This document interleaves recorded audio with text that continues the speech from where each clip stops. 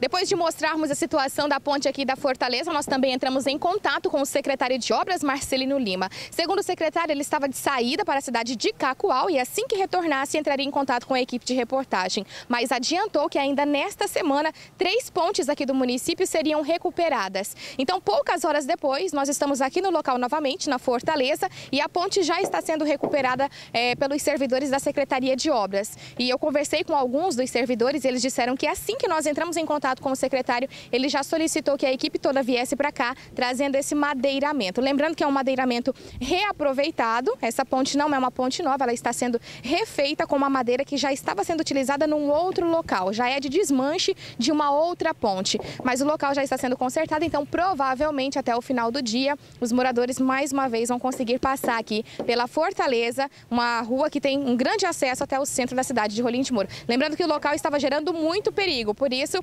acredito que o secretário, quando soube da situação, mandou rapidamente a equipe para o local.